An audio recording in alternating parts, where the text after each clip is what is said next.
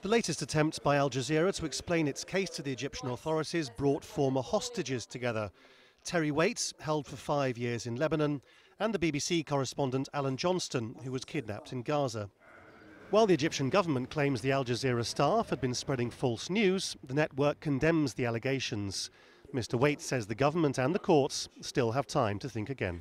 I think if uh, the government uh, in Egypt now imprison and convict journalists who are doing honest reporting, then that does not reflect good at all on the government of the day.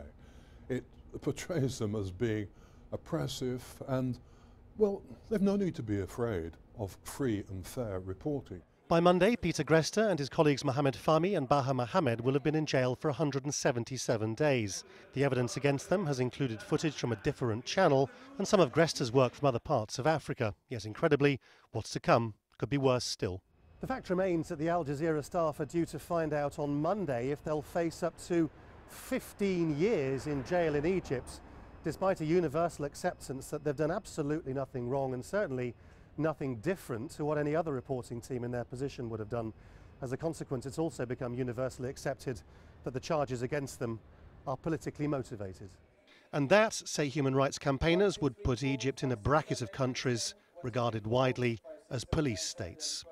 The eyes of the world are on Egypt right now. Everyone will be waiting to see what happens on Monday. If these men don't go free, it's a clear signal that there are dark days ahead for journalists in Egypt, but also civil society and anyone who dares to speak out against the authorities. Some argue that President Abdel Fattah el Sisi, having been elected, may now want to bestow some benevolence and set the journalists free. Others say a crackdown on opposition, which has put tens of thousands of people in jail, has only just begun. Laurence Lee, Al Jazeera, London.